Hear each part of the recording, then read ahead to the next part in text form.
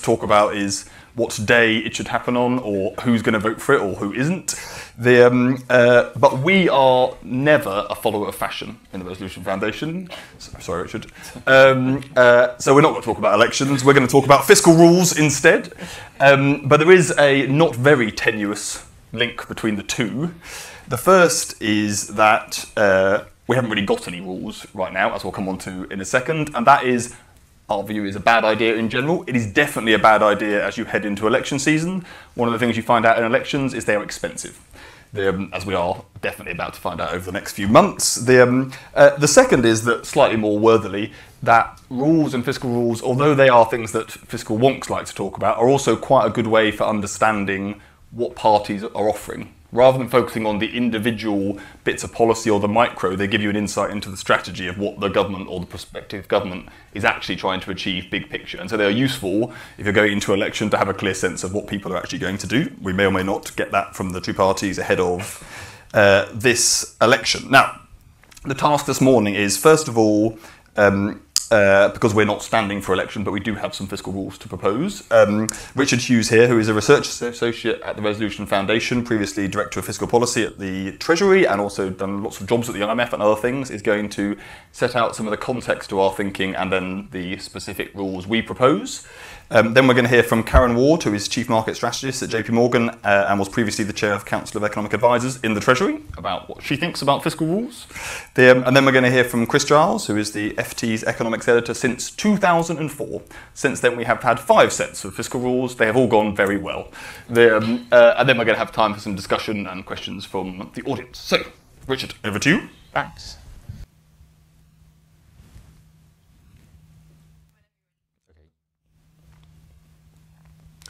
Thank you, Torsten, and good morning, everybody.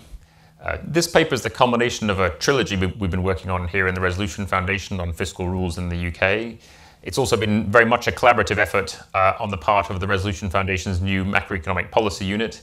Um, and so I, I, first wanted to take a moment to thank my co-authors, Jack Leslie, who did all the macroeconomic modelling underpinning the stress tests that you'll see in the paper, Cara Pacitti, who's the first person in history to ever forecast the UK's public sector balance sheet, and James Smith, who's not only a brilliant macroeconomist, uh, but also a really wonderful colleague.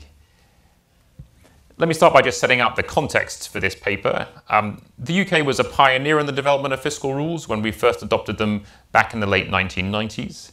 Since then, we've had five different fiscal regimes in the last 20 years. Um, they've all included a, a target for the level or trajectory of debt, um, and they've also all included a target for some variant of the balance, depending on the economic priorities of the government of the day. The lifespan of these five different rules has ranged from 10 years for Gordon Brown's Golden Rule to less than one year for Gordon Brown's surplus target uh, set in 2015. And the average shelf life of fiscal rules has definitely been declining over time for reasons that we explore in a, in a moment.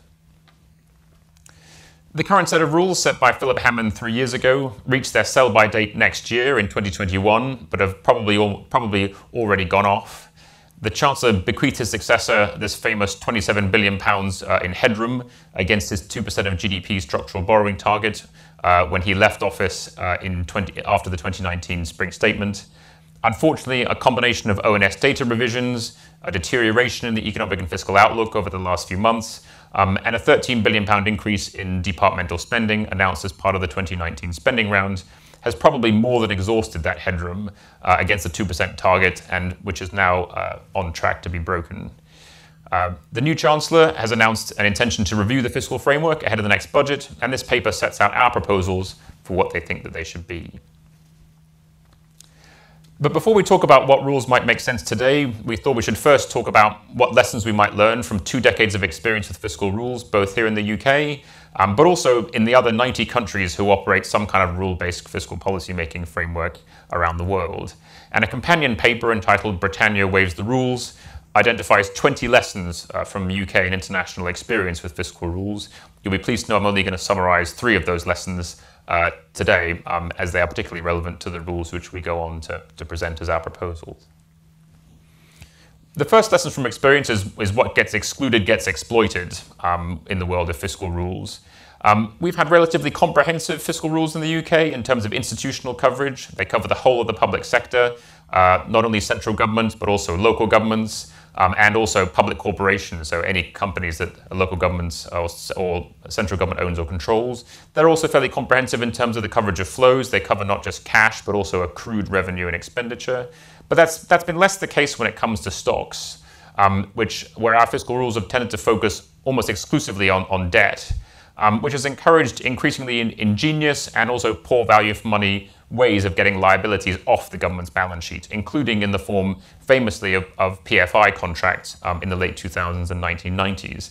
And you can see from the chart here that the Labour government's adoption of a target for public sector net debt um, as one of their fiscal rules back in 1997 fueled a boom in PFI projects over the late 90s um, and 2000s because the liabilities uh, were not recognized in the measure of debt that the government was targeting. However, once the ONS decided to start classifying these debt-like obligations into public sector net debt starting in 2006, the appeal of this mode of financing fell off rapidly, and you can see that reflected in the winding down in the number of PFI projects over the latter half uh, of, of, the first decade of, of this century. A second lesson is that rules can be too focused on the past to set the right signals about what fiscal policy should be in the present. And a good example of this was Labour's Golden Rule, um, set back in 1997, which required the government to balance the current budget over the economic cycle. And this was a period which had a certain amount of variable, variable geometry at the time, um, but at, at, the, at, the, time it was measured toward the end, toward the end of the uh, period, started in 1997 and ended in 2009.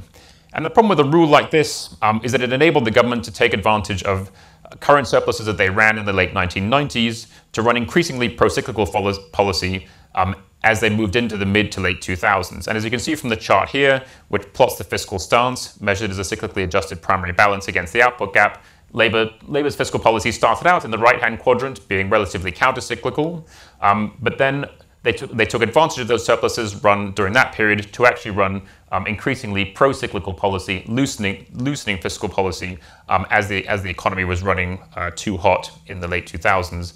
And as a result, the UK entered the 2008 financial crisis in a much more structurally vulnerable position um, than had we just aimed to run current surpluses in any given year. But fiscal rules can also be too focused on the future to effectively constrain fiscal policy today. And a good example of this was the coalition government's target to balance the structural current budget over a rolling five and then three year horizon. And as you can see from the purple lines plotted on this chart, the rolling nature of that target allowed the government to repeatedly push back the day of reckoning with each successive forecast from 2013 to 2014 to 2017. And indeed, we only actually reached the structural current balance last year. So these kind of manana rules can actually mean that you never actually reach um, your intended fiscal objectives.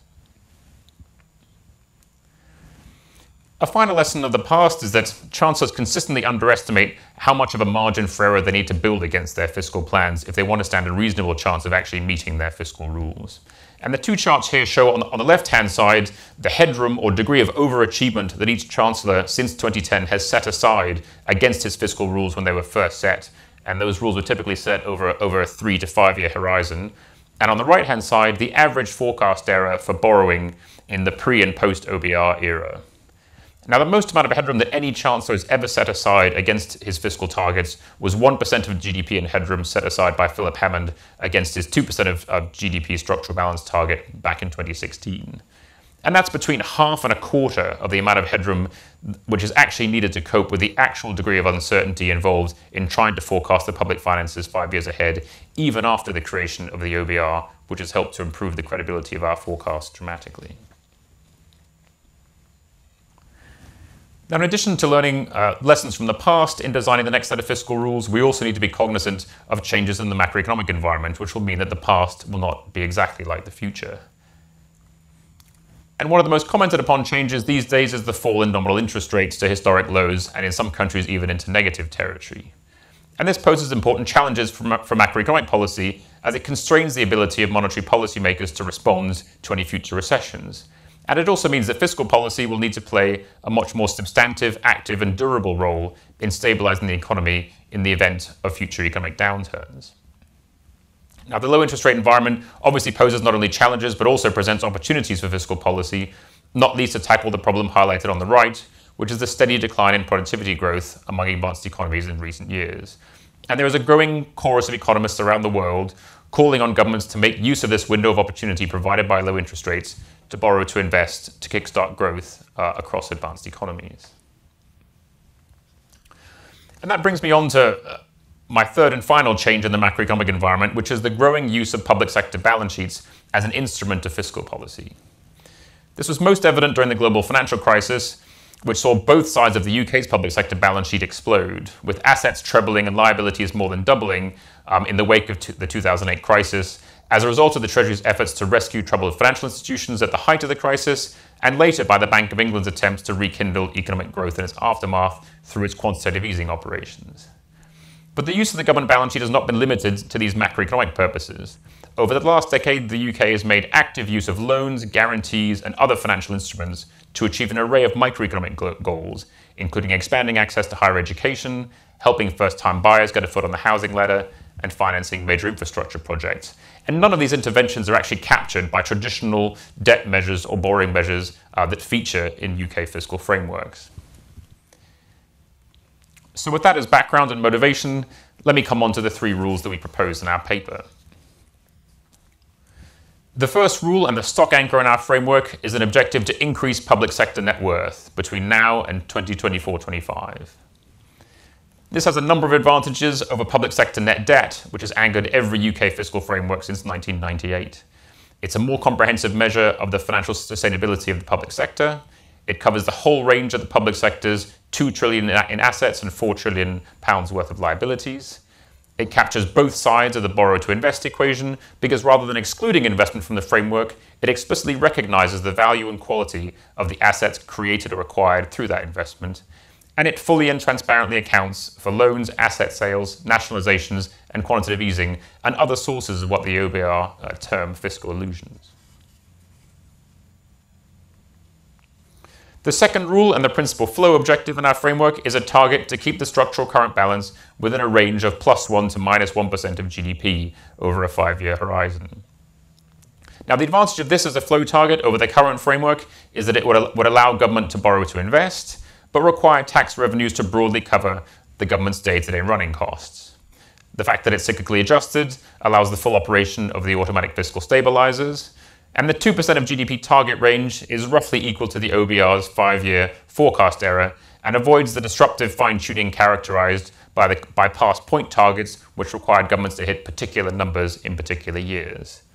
And by targeting the top end of the range of around 1% of GDP, would help the government to build up policy space to respond to economic downturns and prevent net worth from deteriorating over time uh, as successive recessions hit the UK economy.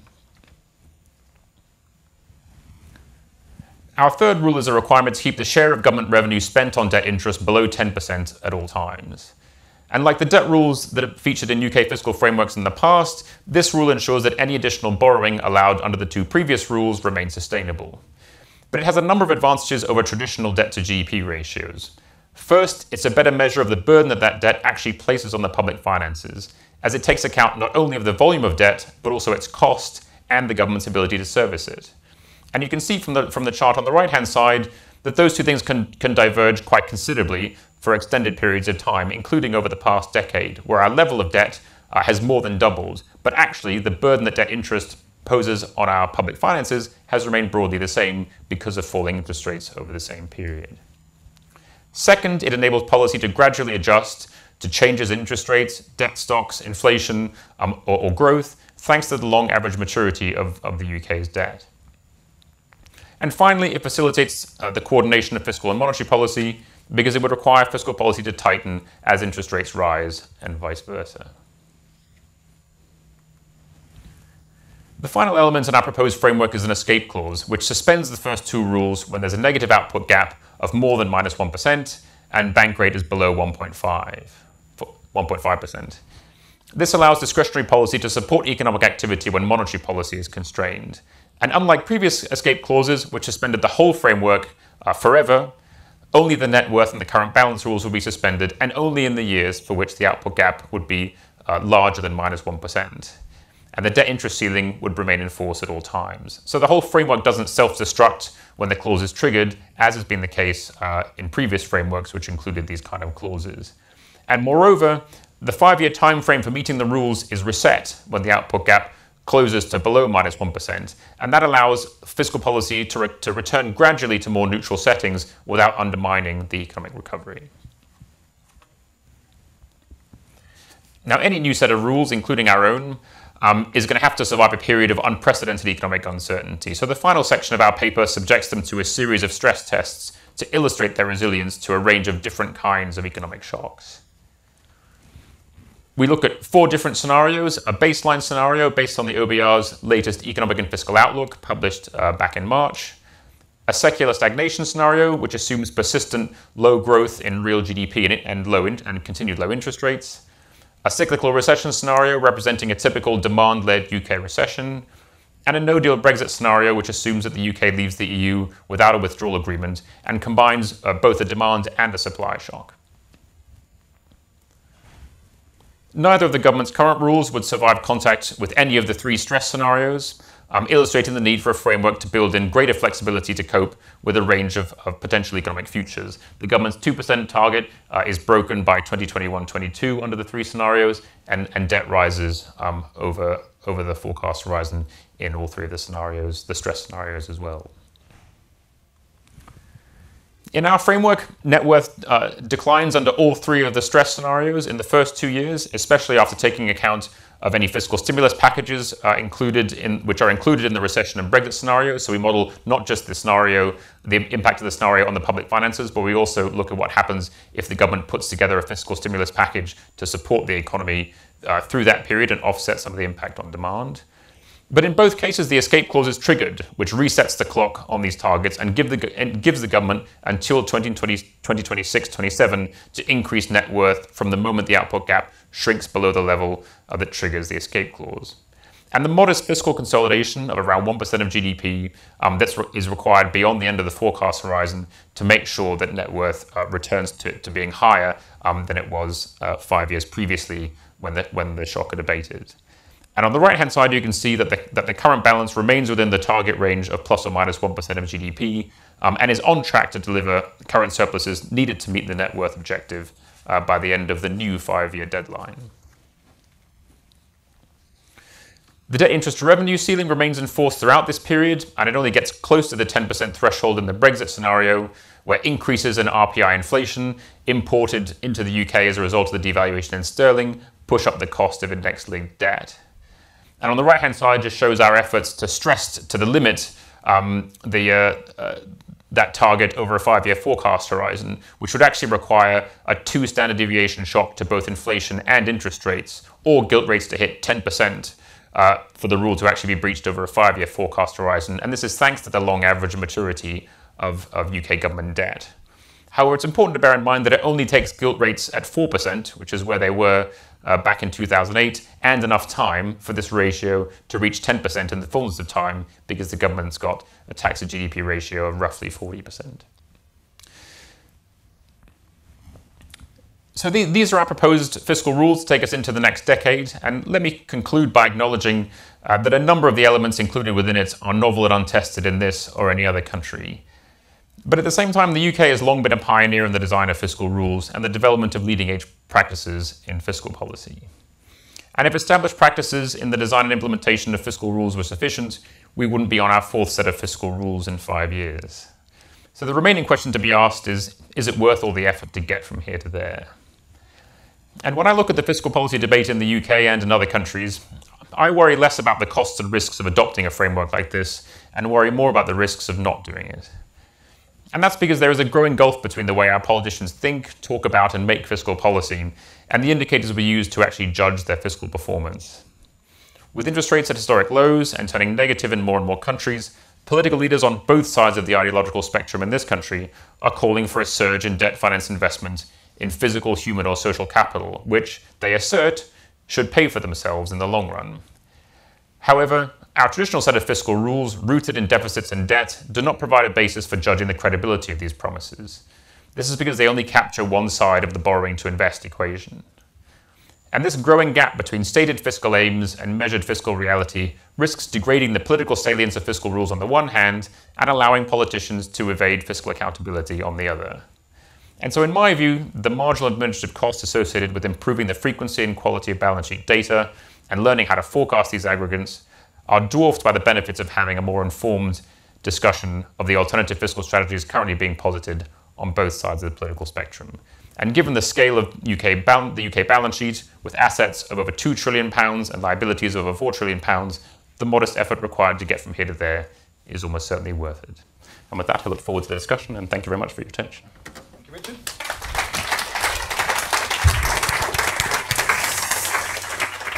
Right, Karen, over to you.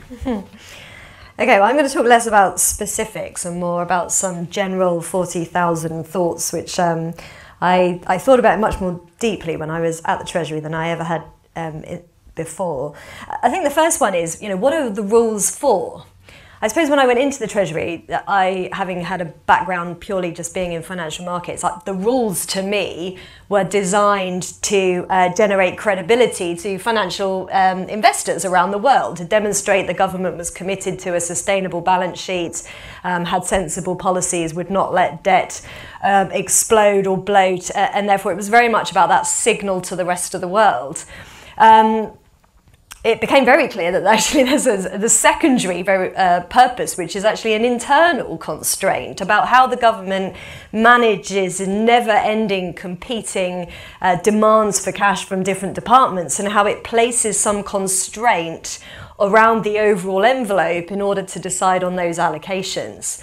And I think uh, if we just look at where we are today, um, that really is the primary function of the rules. You know, since uh, quantitative easing and central banks um, desire to uh, fund a, a, higher level of government spending because of their needs to um, try and get past issues with the zero lower bound and quantitative easing, you know, it really has, I think, in many ways taken away the financial pressure in the global capital markets that governments may tended to found themselves under. So I think, you know, the rules' purpose these days are about um, what is the political messaging that a government wants to send about its attitude towards debt, and then um, within that envelope you know, how is it going to allocate across departments? So I think that's an important element of the consideration of the um, the design is is how much does it just merely want to constrain the overall pot.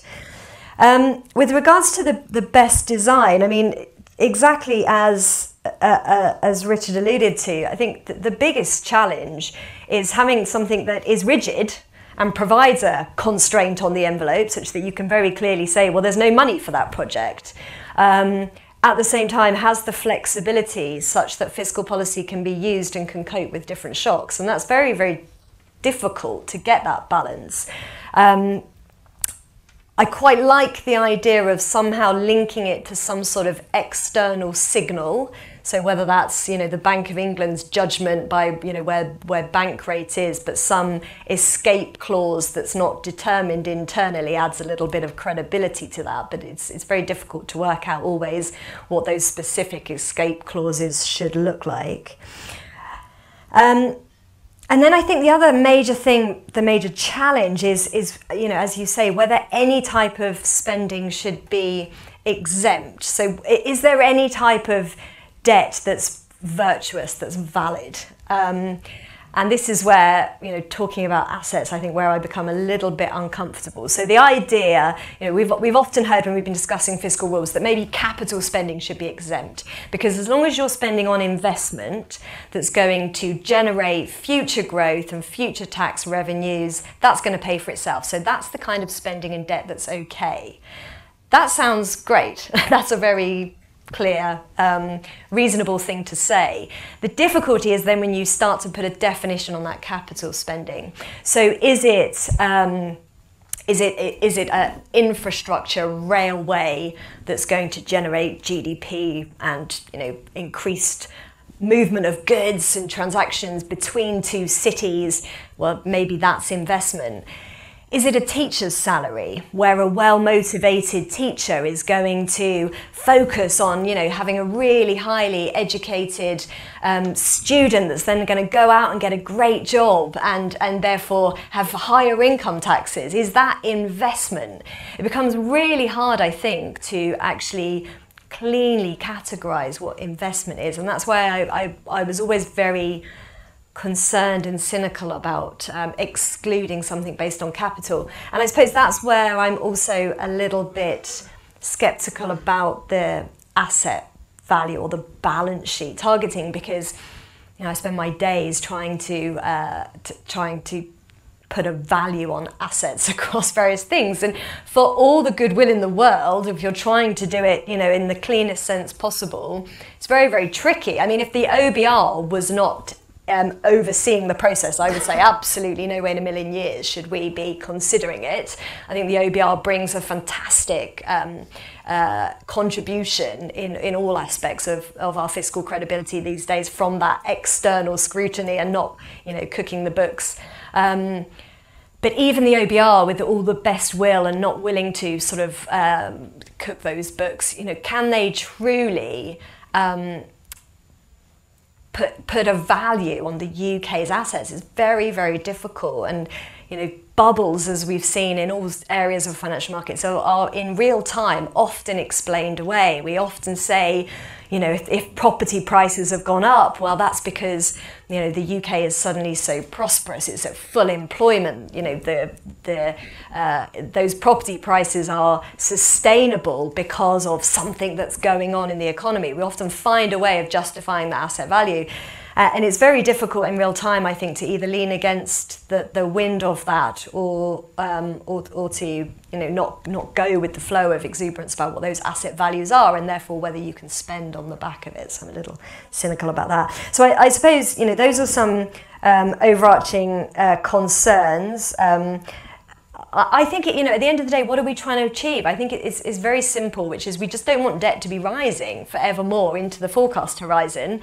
I think we want to be considering a longer forecast horizon. I, have certainly always been concerned about this fixation with the next one, two, three years when um, the OBR's fiscal risks report, which then looks further out and really captures some of the pressures that we've got coming from an aging population and how debt, you know, we was used to look at, pat ourselves on the back for debt coming down, and then that fiscal risk report shows that debt's about to disappear off over 200% of GDP when you factor in those demographic challenges. So, how do we take a longer term look?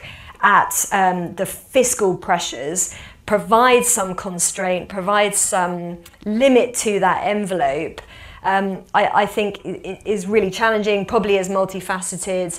Um, so I do think having element, lots of different elements, as Richard has put forward. Um, but I'm sceptical about the, the, the, the wealth or the asset value or balance sheet component, I would say.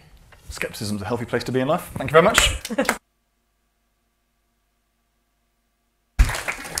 Chris, over to you, and you can tell us which is your favourite of the five rules you've watched being bust at the end. At yeah, point. is it five or is it seventeen? The question is: is it the individual rule or the framework? As, that's good. Uh, uh, question we can have a long debate uh, about down the pub sometime. It's a really good time to be talking about fiscal rules. Um, both parties are clearly thinking about changing them. The Tories are explicitly so, Labour implicitly so. They've not actually, I don't think, mentioned in public their fiscal credibility rule from 2017 for over a year. So there's there's something going on in the Labour Party as well. It's also it's also very big in academia.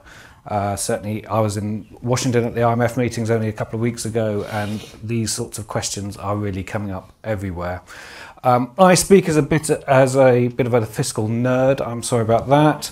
I'm sitting here with an IFS pen I've stolen and a Budget 2006 red book. Uh, which is titled A Strong and Strengthening Economy, colon, Investing in Britain's Future. So as you can see, nothing, nothing changes at all. I'll show, there's other things in there which are quite interesting, I think, in the current debate. Uh, I'm going to mention in a bit. I'm also a big supporter of fiscal rules for all the reasons that Richard uh, laid out. I do think they help countries, uh, if they have uh, a deficit bias, to move towards a more prudent fiscal position. And they've helped educate, in a very broad sense, the public about what are sustainable fiscal objectives in a very broad sense. I also think the value of constrained discretion for governments is rather good, both for politicians to make promises they can deliver, so they're not trying to de- they're not promising things they can't deliver, and also for the Treasury to constrain spending departments. Everything Karen just said about what they're actually used for in government, I think, is entirely correct. Um, it's also, I think, well, now we're just about to move into the 2020s, a good time to think hard about sets of fiscal rules because, and the institutions that govern them, because in the 2020s things are going to get quite difficult. Population aging is taking hold, health, social care, and pensions will rise. Probably spending as two percentage points in GDP or so in the last OBR uh, fiscal sustainability report. There's a huge pressure to green the economy, to house people, and there's no acceptance yet of additional taxation. So it's going to be a difficult decade. And I think anyone who thinks it won't be uh, uh, is living in cloud cuckoo land.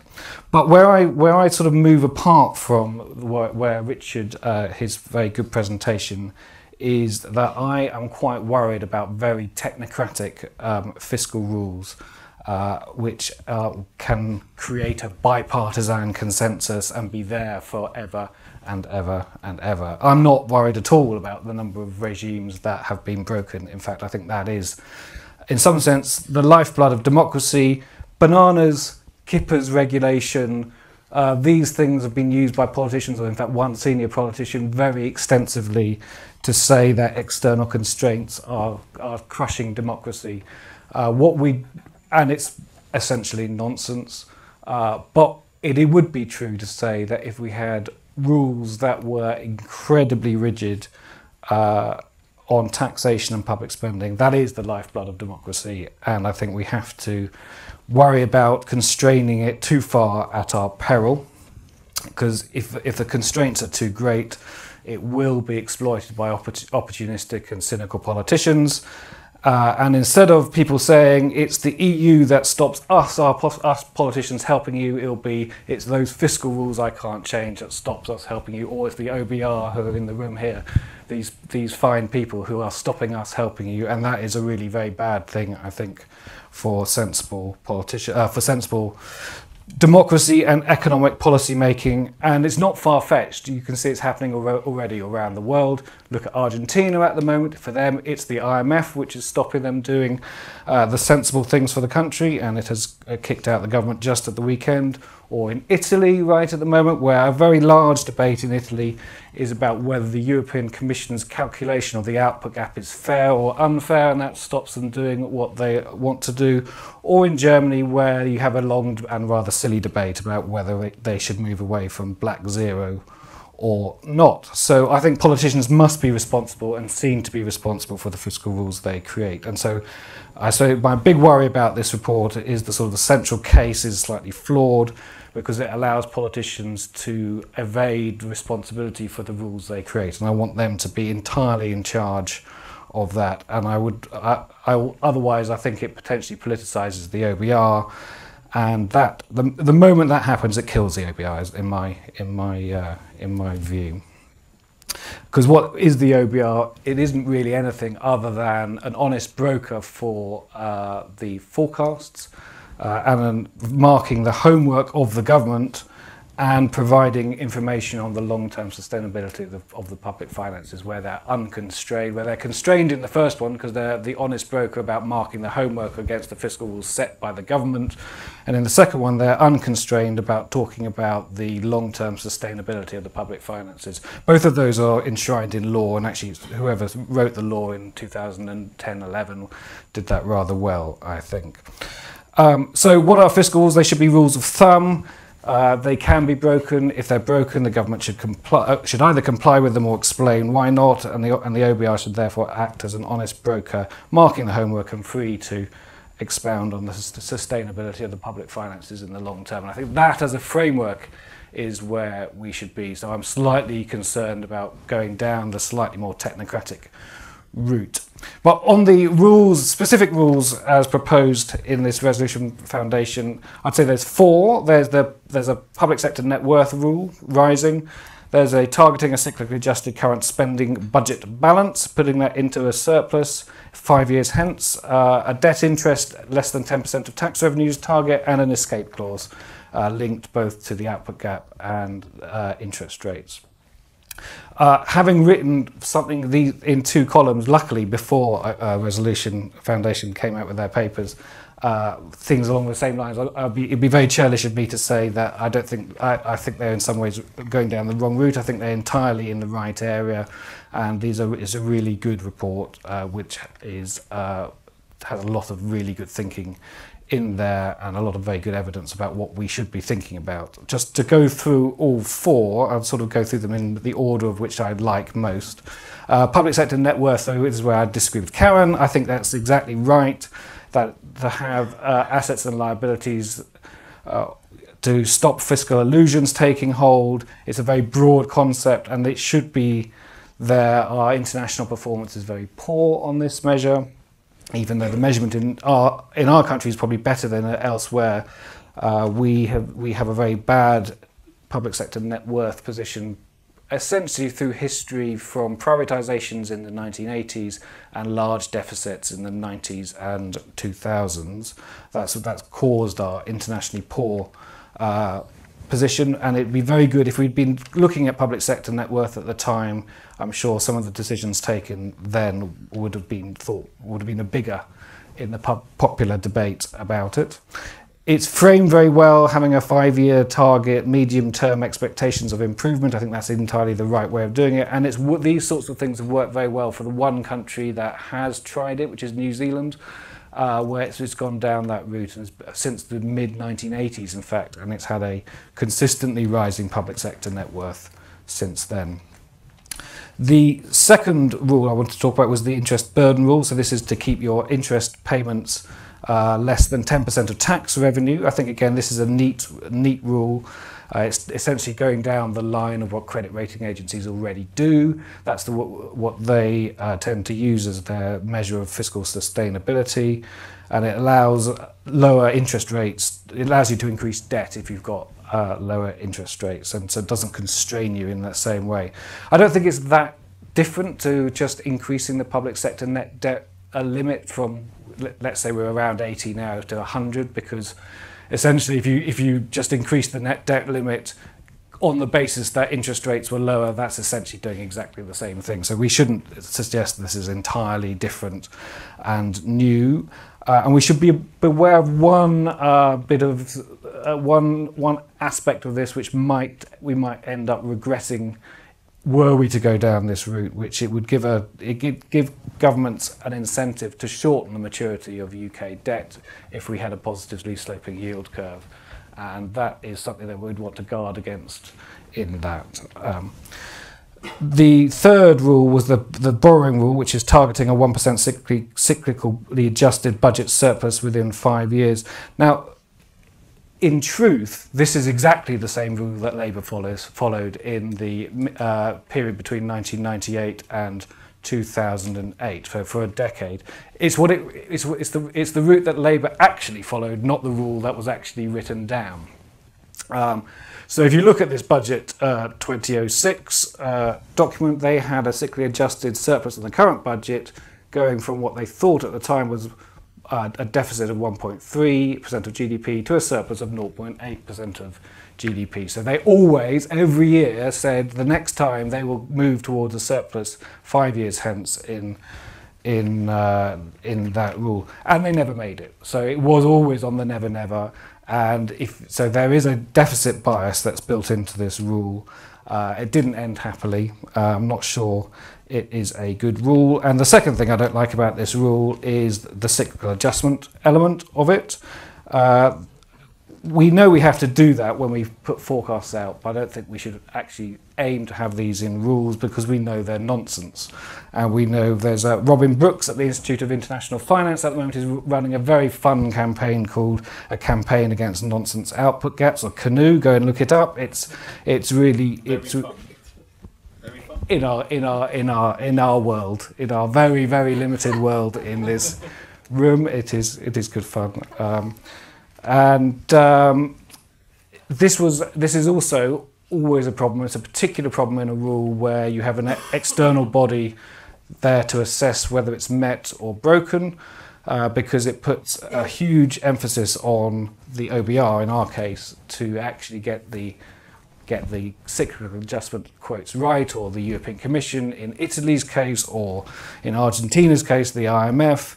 and it can really cause a lot of problems because we know we don't know what output gaps are. For example, again, back to the budget 2006 red book what did you think the output gap was in 2006 as, as far as the treasury was concerned at the time we now think as, as richard put up in his slides that we were running the economy was running too hot by about 0.3 0.4% of gdp but the contemporary view was we was running too cold. We had 1.5% of uh, gdp we could have had extra growth uh, without creating any inflation or any unsustainability in the economy at the time. And that does cause a problem with all of your slides which have the output gap on because you haven't used the contemporary output gap, you've used the what we now think the output gap was historically, uh, and that obviously causes a little bit of a a little bit of a problem in the way it would be uh, it would have worked in real time.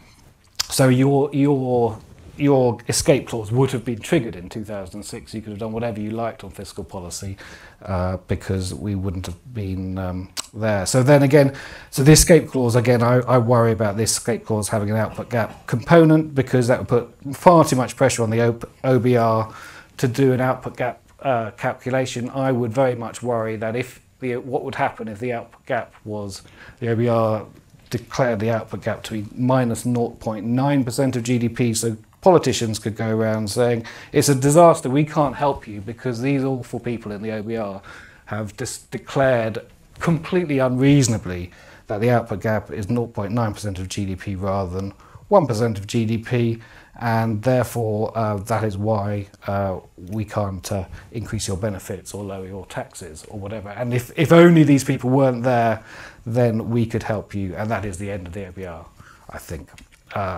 So, in conclusion, I think fiscal rules should be seen as a, as a rule of thumb. They're very important as a rule of thumb, they're very helpful.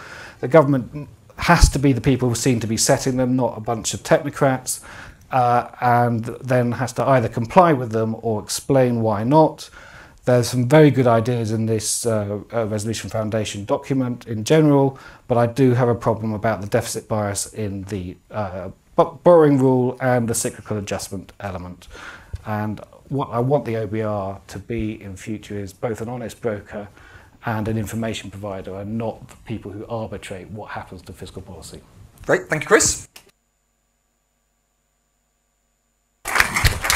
Right, let's let's start off by picking up some of those issues, and then let's get some some uh, questions. So let's let's just go backwards in reverse through some of Chris's um, uh, points and see where we uh, end up. So some of them are reasonably straightforward on. So on the current budget rule, um, we're not talking about a rolling target. So it's not the same as 2006. It's kind of fixed. You've got to actually hit it in that fifth year or the second year as you get nearer to it. So I'm less worried about that. But the cyclically adjusted point is a really serious one where you just got a straight trade off between the degree to which you want you can either accept somebody else. I mean, what is the truth? The truth is, insofar as I think your phrase was "cook the books," insofar as someone from the Treasury in 2006, uh, insofar as that was what was going on, that's obviously what the OBR is for. But it's definitely true that having them estimate the output gap uh, does put pressure on the OBR's role. Although that's also true about their forecast for the economy full stop. That's the basis for meeting the rules uh, in lots of ways. So, but it definitely adds an element of uncertainty where somebody, if somebody wanted to politicise the OBR, they could point to the output gap estimate as particularly uncertain compared to all other bits of the forecast, which are all obviously also very uncertain, and say uh, that is. Um, ridiculous. The, um, uh, and then do you want to touch on debt interest and whether we actually can whether we end up with lots of stupid things in the system, we should just have a high debt target, which is definitely where lots of the US debate is just heading to. Just have high debt. Don't worry about a debt interest target. Yeah, I think it's certainly a straightforward thing to measure by comparison with some of the other things which are more more new in the world, um, but do exist. I think one thing I'd say about debt limits is that we've had quite a bad history with them as soon as you start to approach them. So if you reset the debt target to 100 and then you say, right, we're going to borrow up to 99, which has been what government has tended to do. Once you get the wrong side of a debt target, it basically becomes irrelevant because you've got momentum behind debt growing, and it, and it takes 10 years to a decade to get it to come down again. I mean, just look at the we've had a successive successive governments since 2010 have promised to get debt falling, and it only started doing it two years ago. And we had eight years of government saying we're going to get debt down, and it doesn't happen. Targeting a stock um, which once it starts going up, it tends to keep going up. It, is, it means it's very difficult to actually use it as a guide for day-to-day policy making. I think this target adjusts more gradually because higher interest rates or debt shocks only filter through to the cost of debt over time um, and make it make it more manageable. Now, on Karen's uh, excellent point, which is it's hard enough doing the OBR's job and all this other stuff already. Do you seriously want the OBR having to calculate the in, or assess the calculation of the entire asset side of the state? Mm. That is a fair question. That is hard. People in the OBR are looking sweaty just thinking about it. Uh, in the audience, uh, Richard, defend your ludicrous how are we going to calculate all this stuff? It would, it would certainly be a new challenge for the OBR. But, I mean, they already they already cost lots of other kinds of policies which are quite complicated to understand. Universal credit being one of them, um, which have that's gone really well. Which have lots of, I mean. They, but in the end, this is this is fiscal policy making in practice. I think the other thing I'd say is that I mean there are standards and bases for valuing these things similar to the ones used in the private sector. So there are independent standards uh, for asset valuation which governments already use to produce their accounts. And I guess the third thing is that I mean, this is what politicians are promising, right? And so we either hold them to account for what they're promising and say, you promised us a brand new rail, a manual rail system with this value, which is going to be bigger than the cost of that we're uh, that we're incurring to finance it, or we're just going to sort of take them at their word. And I'd rather have a system which forces them to actually show that the value of the assets is bigger than their cost of financing than just to assume that exclude the whole thing from the framework and hope for the best. Um, so I completely agree when I think through the micro specific projects, as you say, it should be, uh, if we're thinking about a specific railway, city extension, um, having to do that cost benefit analysis on that project makes perfect sense. It's more about the entirety of the balance sheet and then particularly how optimism, exuberance can get built into those estimates of the of current stock of physical assets. I think that's the real challenge. So building it in in a in a micro manner, um, much as I guess the, the, Treasury does on most of the projects it's evaluating on a daily basis. But but that that I completely buy. It's the total stock I'm a little more cynical on. Should just try another critique of ourselves, given that, and you guys kind of both got at this, which is just these are complex. This is like, as you say, four. We've got four rules. Um, you've got to be quite keen to know exactly what they mean. Now, it was always obviously nonsense that the public understood the fiscal rules. That it was that, that was never a thing, even though we slightly on occasion in the early late nineties, some economists and policymakers did talk a bit about. But you know, you'd have to be a really, really weird human being outside of this room to really know what the fiscal rules meant. So, but maybe this is just like overreach into it's just so complicated that not even the kind of economists who are kind of following this can follow it. So it's not providing any constraint. I mean, I, I, in the end, I don't think it's any more complicated than trying to forecast tax revenue, which we don't we tend to not, not get right all the time, or forecast spending. Um, and again, any business has to value its assets and liabilities and produces a balance sheet. It's just that government has lagged about a century behind in its accounting practices for kind of first historic reasons that it, that it doesn't do it. I think we're, we're, we're lucky in the UK that we have uh, people at the ONS, um, some of whom are here today, who've actually put together this kind of data, and not just on an annual basis, but actually with the kind of high frequency basis that you can start to use for forecasting and monitoring. So I, I don't think it's as I don't think it's as abstract or as academic a proposition as it, as it was five or ten years ago. Um, today, there's been a lot of investment actually put into the produce, but the, the production of quite high quality and high frequency balance sheet data, which, um, and again, we're not targeting a specific value for this thing, we're just saying it should be going up over time. And that also seems to be a kind of intuitive proposition that the net worth of the of the institution that you're running um, as chief financial officer should, should be going up rather than going down. Radical idea. Um, Chris, on your so in your kind of day job, if you had a net worth rule, would it make it any easier to stop either bad privatizations? So by, by bad I mean cheap here, rather than whether you think they're like selling stuff cheap, or, or bad nationalisations, buying stuff too expensive or running it badly? Or would it still be impossible because no one could measure this stuff? No, I think it would make it a lot a lot easier. Actually, I think the, the there was literally no traction since 2010 to the hey look student loans are all going to be half of them are going to be written off in 30 years time maybe this doesn't solve save as much money to the public finances uh, as we thought until uh, was it the 2018 OBR Fiscal Sustainability Report, which highlighted the fiscal illusions very, very clearly and showed there was 10 to 15 billion pounds worth of them. I certainly my day job, I had tried to say write write a piece on this, but there was literally no information. So it was impossible, and we didn't in the end. Uh, and frankly, it was very hard to get out of the Treasury what the rules were. So I think those sorts of issues are much, much better where you've got assets and liabilities together, and it would be very helpful for a better debate on nationalisation and privatisation, uh, which are going to clearly be part of the lifeblood of our democracy in the next few weeks, even. Uh, to know that uh, it doesn't cost us 200 billion pounds to nationalise the water industry or whatever the CBI said, but it might still be a really dumb idea to do that. Uh, and then you can actually have a debate about whether it's a good idea or a dumb idea, rather than does it cost 200 billion quid. Sounds good. Right, let's get some questions on you guys. I think there are some mics roving. There's a hand up here, Jack. Anyone else while you move? Uh, Charlie Bean, uh, LSE and OBR and Chief Output Gap Forecaster in. uh, I, have got a couple of remarks. Um, the first and more minor one uh, is uh, you, you, you started by saying that what gets excluded gets exploited, which is clearly true.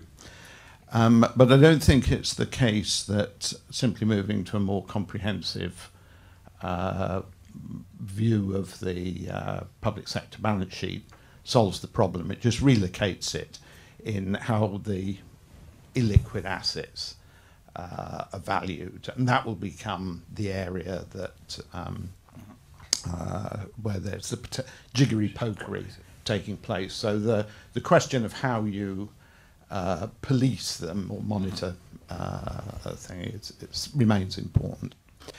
The more substantive thing relates to the, the rules themselves. Now, in general, I should say I'm um, very much supportive of the, uh, the direction in which you've gone. I've always favoured looking at a comprehensive balance sheet. I wrote a paper with Willem Buiter nearly 40 years ago saying we needed a more comprehensive uh, view, and I certainly take the view that the cost benefit uh, analysis of monetary policy vis-a-vis fiscal policy has shifted in the direction of needing more activist fiscal policy in a world of low natural real interest rates. Uh, and the rules that you've uh, put forward are obviously designed to make it uh, more possible to use fiscal policy as a counter-cyclical weapon. And I think that's the, the right way to go. Um, but I think it's also important to think how these rules might go wrong. Um, and I was quite pleased to see you doing the sort of simulations at the end of different shocks. Um, you have to remember that the rules, are, a, good set of rules would be rules that give you uh, room to take the right sorts of countercyclical policies and the right intertemporal borrowing decisions, but try and prevent bad behaviour, misbehaviour. And the question is, are your rules going to achieve that? Uh, first of all, as regards net worth, and this is a, a, an issue that Karen touched on, um, th the parallel with private businesses is not really right here because there's quite a lot of public sector capital which doesn't generate revenues, uh, you know, it generates social returns. Mm. Yeah. Um, but it's not an asset that you can necessarily sell back to the sell into the market or something like that. And governments are in danger of conning themselves when they say borrowing to invest is all right, um, because they may be building up an asset which, if there's uh, financing difficulties, can't be sold or anything like that. Then I want to put that together with the debt servicing um, uh, rule, which says when interest rates are low, it's fine to borrow lots. And as Chris correctly observed, that also encourages you to borrow short. Now, just think about that for a moment. You've got a set of fiscal rules which says, hey guys, it's fine to borrow lots and lots and uh, of short maturity because interest rates are really low and invest it all in assets that are illiquid of very uncertain and dubious returns. Now, as somebody who sat through the financial crisis and the Eurozone debt crisis, that fills me with horror, I have to say. Now, this might not be something that's an issue for the next few years, but it, it potentially uh, is a toxic combination. So, I, if you went this way, you would certainly need things that require the maturity structure not to be shortened too much. But you might well want some other things too. Great, thank you, Charlie. Anyone else want to come in? This gentleman at the back there. Thank you. Uh, my name is Moyeen Islam. I'm a fixed income strategist at Barclays. Um, just a couple of observations, which is firstly, as to Charlie's point about uh, the term structure, I think you kind of, for someone like me who's within the market, you're kind of missing the point that the issuance of government debt is not really a function of what the government wants, it's what the private sector demands. And uh, the term structure of UK debt is really a function of historic pension li- historic private sector pension liabilities, not because the government was so wise as to lengthen our debt before the financial crisis. Secondly, your 10%, and it stems from it, the 10, this 10% kind of debt interest to revenue rule, uh, it's, it's pretty convenient, frankly, uh, because we have a long-term structure and a low debt interest kind of structure. So how's that going to change? And you're seeing it already in as much that the debt management office is going shorter on the curve. Um, the, if you look at the term structure of gilt forwards relative to swap forwards, for example, the gilt curve is considerably steeper uh, than the swap curve. Uh, you talk about fiscal credibility. I mean, I've kind of made this point to you in the past, Richard, but there are plenty of indicators which suggest that the UK is kind of burning fiscal credibility at a rate of knots already. Uh, and you kind of assuming within this entire framework that the UK can kind of do what it wants. And I would contend that maybe you actually can't do what you want. Okay, great Anymore. question. Right, then let's let's take those two because they're covering. A, a, Can I put a question back to that one? Put a question back to him. Yeah. Fair. Go on then. Why is the UK burning through fiscal credibility with a gilt yield of 0.7? You're looking in the wrong place. Literally, you're looking in the wrong place. What- Sterling. okay, I would throw that back and say, why is the 10s 30s asset swap box, so the relative measure of 30 year spreads versus 10 year spreads, at 43 basis points? Whereas the relative slope of the OIS curve in 10s 30s is like right, 13 that's basis definitely enough points. detail. Great. the right now, okay. Let's just because let's make sure this is comprehensible for the wider for everyone in the room. Okay, so the um, so the underlying argument here. Let's, let's, let's unpick this into a number of things. So the first is focusing on the debt debt interest today, as if we're forecasting it today, gives you some incentives which we don't like on uh, the term of your debt, which is definitely true. So in the weeds of this, you would definitely need other things to push against uh, that. The, um, there's then a separate issue which is if things, which is kind of again, which is if things go wrong and your debt servicing costs don't stay low, uh, have you by setting this like 10% target built yourself into failure because you can't turn it around quick enough when the pain starts to come through, particularly if you've borrowed short so that the transformation from uh, market rates changing into the overall cost of your debt is quick, which we spent a lot of time in this thinking about. Or I'd say one thing I would say on this is on our like in some ways, you know, when we've thought about debt rules in the past, we've been aiming for these point targets. So we've been saying like pre-crisis, we're aiming for this 40% and we're going to keep it there. Obviously, kind of totally missing that what happens when you blow it up is it's kind of it's interesting that you wanted to be at 40, but you're now at 80. The um, it doesn't tell you very much about what you then do. Here, we're really saying is we, we 10% is more of like an absolute limit.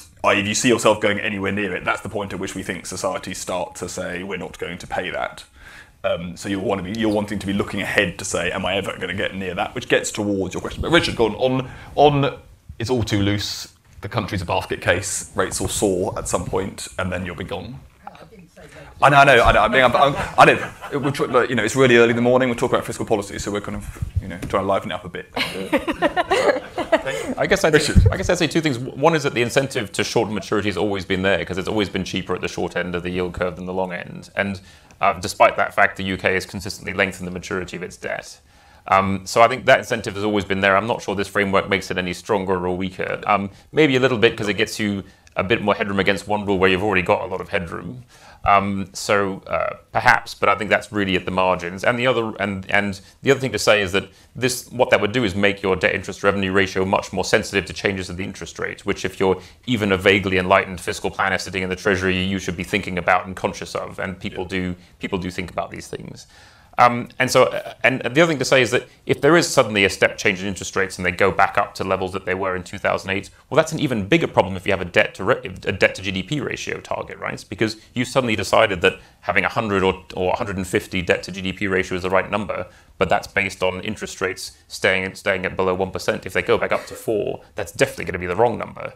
the rule that we've got in here actually makes sure that you take that into account when trying to set fiscal goals. And does it does it is it too late? We've talked about is about the speed of adjustment.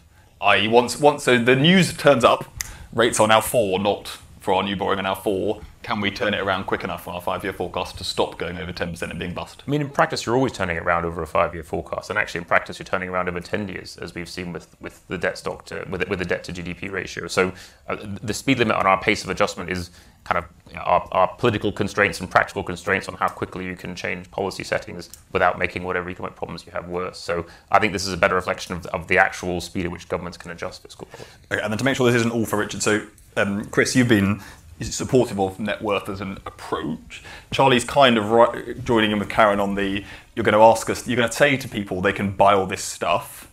It is either illiquid, and so it doesn't really matter what the value is because you can't get rid of it if you're in real trouble, or we can't really measure it very well. And so, are you sure you're not just giving a green light to buying wrong stuff? Yeah, so if you were to borrow short to buy stuff you can't sell, a lot of it, then that's obviously putting yourself in a difficult position, and I totally accept that. And so I would suggest that it, if we are going to increase debt, this is why I actually prefer to keep a, a debt rather than a debt interest target, although loosening it slightly. If we are to increase debt to buy stuff, you also have rules where governments have to say exactly what they want to achieve and why it increases output uh, and then be and then get the OBR to measure the value of that.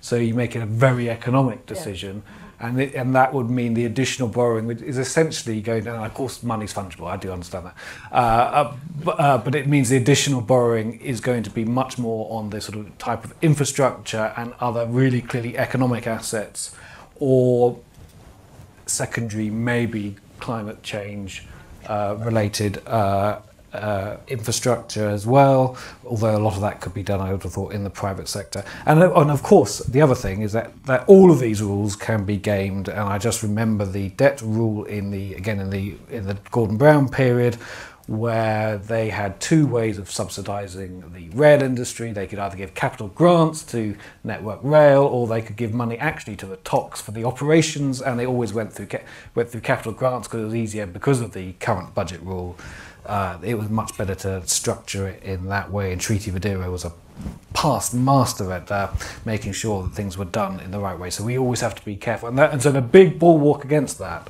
is the second aspect of the OBR's role, which is the unconstrained ability to talk about the sustainability of the public finances. And even though the fiscal risk reports and the fiscal sustainability reports might not be the most read documents in the country. What? They're very important mm. and they are actually the things where the OBR can highlight problems or highlight aspects of what government might be doing and where it's being a little bit naughty and gaming the rules and do that in an unconstrained way. And that that, that is actually a very very effective bulwark I think ultimately. And it's a, for example what's happened over the past two years on student loans. It wouldn't have happened had it not been highlighted by the OBR okay great. Let's get some more questions. Anyone's got thoughts? Let's do here. Let's put these two together Frances. Off you go, Andy. Thanks. Uh, so, Andy King, OBR, but this is not an OBR question. I just wondered, within your three rules, how does the Treasury set a spending envelope? Because the change in PSNW is, you know, collapses into being uh, a current surplus, and then the debt interest one, you're miles and miles from the uh, limit. So, how does the Treasury actually decide what is the maximum on the, cap- on, cap- on the capital envelope? You mean? Exactly, yes. Okay, great question. Frances? Frances Coppola, um, financial writer and generally annoying person. Um, I really like balance sheets, so I'm very glad to see the net worth coming into this because it's annoyed me for years. But I have a couple of questions about it. The first is that it strikes me, sort of party of Charlie here, um, we are actually hitting some of the same problems as the private sector hits when it's attempting uh, to assess a very large and really very complex, complex balance sheet. And there mm. are two parts of that. First is valuation of intangible assets. Um, and the framework for doing that. I know the OBR's covered this to some extent, but it seems to me that if you're actually going to make this part of your um, fiscal rule setting, you've got to be very much more rigorous about it. And my second is actually about the boundary of the pu public sector. And I wanted to bring one particular example of this, which was the treatment of housing associations, which came onto the balance sheet and then were removed from it again. And it seems to me there's a little bit of an opportunity there for uh, politicians, not politicising the OBR, of course, to, um, shall we say, adjust what is on and off balance sheet to flatter their figures, which is, of course, something we see public sector, private sector companies doing. Um, but it seems to me we could easily get Okay. the public sector doing it too. Great, that's a great question. Right, so Andy's got a really practical question on how do you, in the, at the moment, for some to a pretty heavy degree, your spending envelope can fall out of your uh, fiscal rules on your overall spending, whereas our rule makes that easier on current, but doesn't do it in a simplistic way on capital. It is. I mean, it, it would base, it would be quite similar to the way it was done when Labour had a golden rule, which is that there was a clear envelope set for current spending, which was uh, achieving a, a current balance over the cycle. Um, on the capital side, it came down to how much you how much you wanted to invest, um, because there wasn't really a limit on capital spending apart from a, a debt ceiling, which was quite far away. Um, I think for the moment that's probably the right calculation for government. Um, you know, there are there are a lot of cha- investment challenges out there, which given government's uh, given government the financing environment for government at the moment, it should be thinking about whether it wants to meet. Um, the, de- the debt interest constraint could well become a constraint in future if interest rates go up. Um, but, but for the moment, there is an opportunity to try and invest in things like getting growth going, tackling climate change, and these sorts of things. So part of the envelope um, is, is not so much a question for the Treasury, but a question for departments about can you bring forward investment propositions which actually can be demonstrated to improve our net worth over time and help to meet that, that second objective. So uh, the question of the envelope partly comes back to you know what are the opportunities out there, not just not just what is a constraint. Okay. On this, on this, on um, Frances's point, which is, I don't know, Chris, what you think, but so you've covered ad, nauseum both the so the classification you're talking about, housing associations, was an ONS decision, but clearly government can set policy to influence the ONS's decision. So do you, do you think, Chris, we don't actually get rid of any of the boundary, just becomes the issue rather than the whether you're on the assets and liability side of the I mean, if we're talking, if we're talking, you know, get down to basics. The real bou- the real boundary problem here is that the ONS has a binary, is either on or off, rather than mi- a, a mixed function, which would be much much better.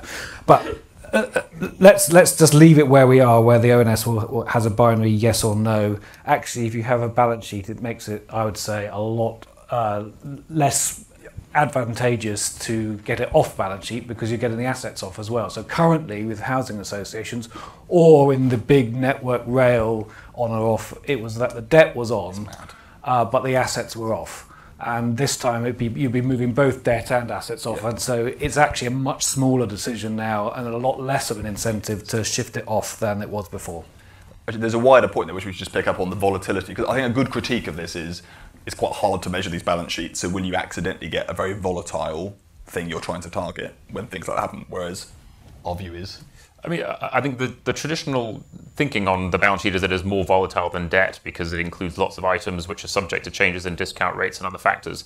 Um, when we actually looked at the data, it turns out that net worth is less volatile than debt um, for reasons which, once you think about it, are also intuitive, which is that discount factors, discount rates affect both assets and liabilities, uh, and you get offsetting effects on either side of the balance sheet. Um, and it's certainly the case that the incentives to move things off balance sheet are, are, are much less when you're losing both the assets and the liabilities, as opposed to in the past, the temptation has always been to get things off because you because you're just trying to get measured levels of debt down. I think, and just on this, on the questions people are raising about valuations, it's definitely a challenge within this framework, and it's something new which we would have to contend with within our fiscal rules. But it is the same set of issues as Frances said that every company grapples with every day when they produce their accounts, and there are a whole set of issues there, and you know, there's, and there's some very good work being done within government at the moment about the valuation of government's intangible assets. Because for a major uh, private company nowadays in the kind of uh, sort of FTSE 500, these companies have got 50, 80% of their value is in the form of intangible assets. When you look at government, we've only got about 5% of our value measured as intangible assets. And that's a sort of artifact of the fact that governments just don't think in balance sheet terms. It can't be the case that only 5% of our assets are, are intangible. We've got data, we've got R&D, we've got, we've got proprietary technology. Um, all those things must be worth more than they are, than we, than we think they are. By actually looking at the balance sheet, it actually starts governments asking interesting questions about what value these things have, both for the delivery of public services, but also potentially do they have commercial potential um, that you can use. you want us to start borrowing against the NHS brand. Uh, well, not necessarily, but Slight, slightly joking, but on the edge. One day, one day we'll get there. Uh, fine, right, Karen, come in, and then we'll wrap up on two other questions. I think this is just this is getting me thinking, which is That- that's what we're here for. The purpose of the morning. Um, and although I still am very much against the sort of whole net wealth, I mean, I'm, I'm thinking about this in the current conjecture of where we are with very little monetary ammunition should we face a downturn and increasing use of fiscal balance sheets, fiscal policy in order to uh, drive the economy forward, particularly in a downturn. So I'm thinking about a basic example where, you know, we have a, a horrendous Brexit outcome, a key manufacturing sector going through a very difficult time, and a sort of government's assessment that we need to uh, support an industry um, through uh, to retain those jobs, retain that industry as the economy goes through this difficult time. So that would be an, an acquisition uh, um, for strategic growth purposes. And I think this kind of discussion and this analysis of making sure that that the you know, assets are being acquired at appropriate valuations that you know decisions are being made appropriately is, is absolutely something we need to be having we need to have the framework in place i do think it's on a micro project transparent basis um, so I, I sort of just wanted to clarify as my thoughts have evolved that it's, it's not necessarily the, the, the aspect I think we should very much be thinking in that way, but I'm not sure the conducting a rule around it. It's more about the the um, information, credibility, transparency. And there's clearly a kind of hybrid of what we're talking about, which is look, stick to your debt rule because people understand it, and then have a kind of marginal balance sheet. So like the things you say you're going to do each year, you're. I do think then you've got you know all of the problems about kind of not looking after your assets once you've got them, how you run them. Mm. Do then you lose any benefit on those things? You can basically you're basically publishing your kind of cost benefit analysis of big stuff you do through the balance sheet. Yeah. That's not that would be a good thing to do. Um, but you won't get all the wider benefits from a uh, subject to the traumas of doing that. Right, let's just wrap up on two issues because we've got five minutes left. The first is to say is climate change, we haven't really talked about here. But one of the motivations for this is yes, we're all talking about um, uh, big increase in uh, borrowing to invest, either from the Labour side on nationalisations and on capital uh, spending, or in the Conservative side, basically on infrastructure transport largely, but housing presumably at some point when Sajid Javid gets to announce a budget one day, if he does. Um, uh, so everyone wants to do it, but there's another thing out there, which is at some point the state and the private sector is going to have to spend some money on actually getting the country ready for the depressing new world we face. Do these rules allow us to do that? Do they allow us to do too much of that? Is it particularly impossible to measure the value of investments that are climate change focused rather than building a road? I think they certainly facilitate those kind of decisions, and I think also encourage government to think in those terms because a lot of the kind of expenditure you need to do to tackle climate change is investment, be it in technology, um, research and development, all of which counts as assets um, in the sense that it creates knowledge, um, or in actual physical assets if you're building flood defences, um, that is what you need.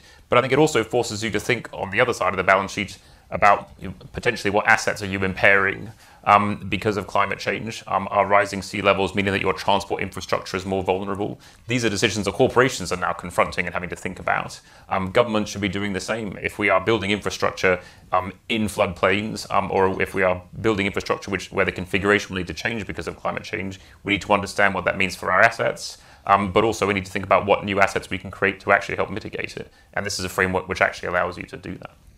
Chris?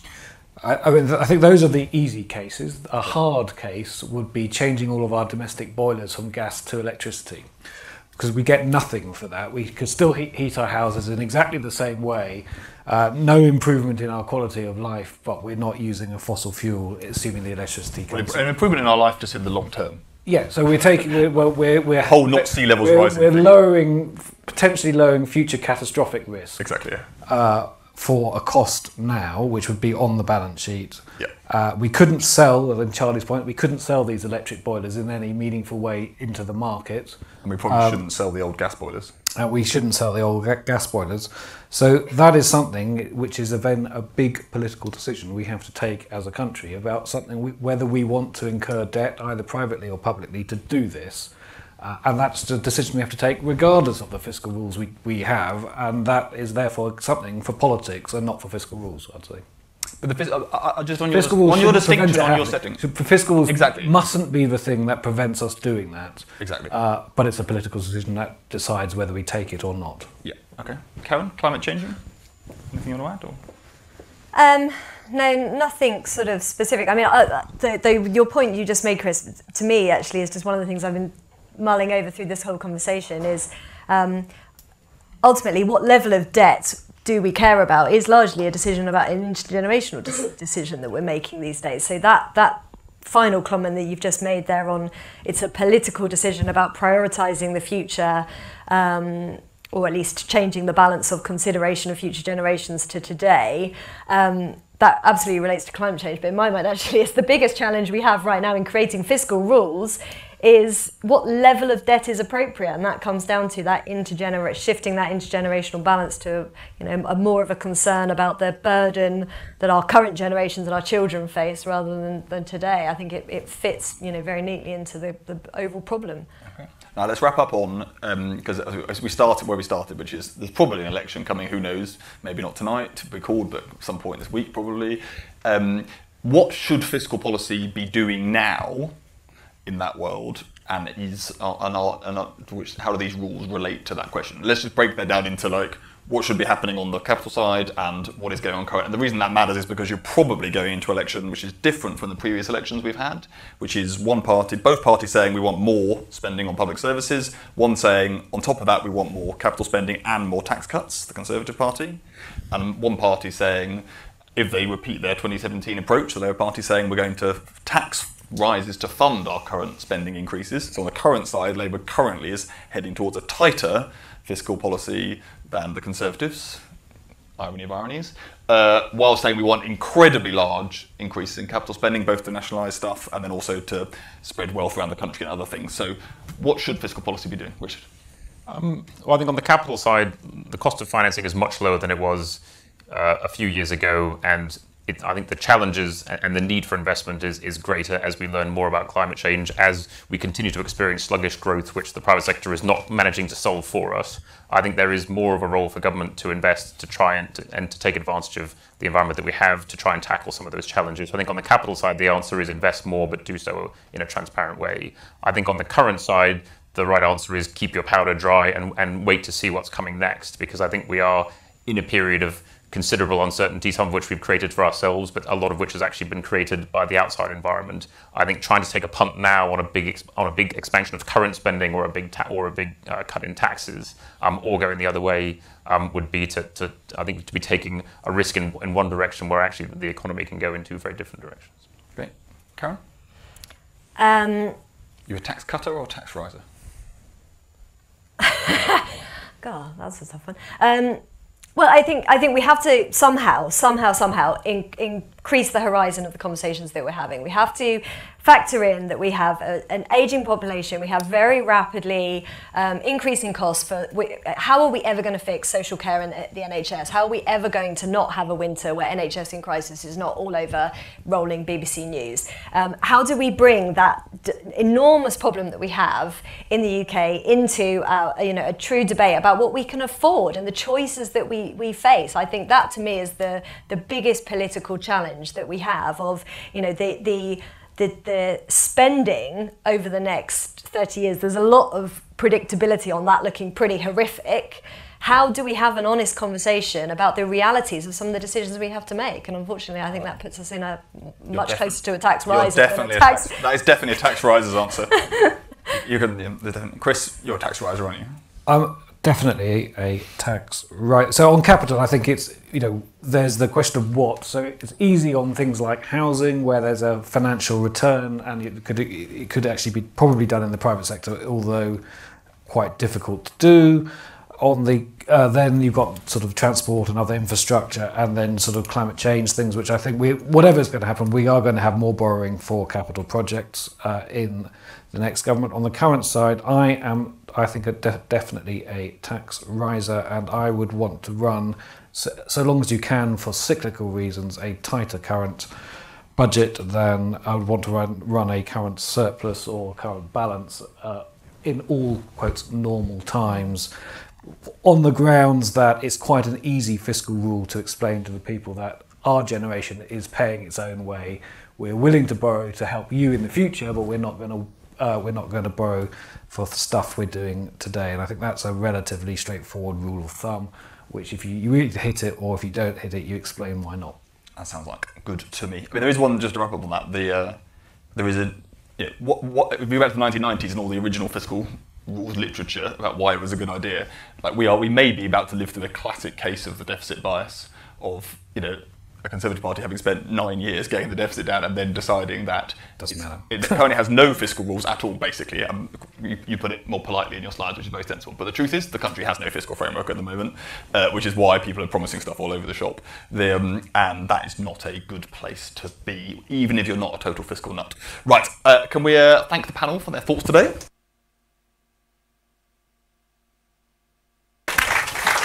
Have a good day as taxpayers and spenders, because quite a lot of civil servants in the room. And remember, it's good to know uh, what you owe, not just what you borrow to pay for it.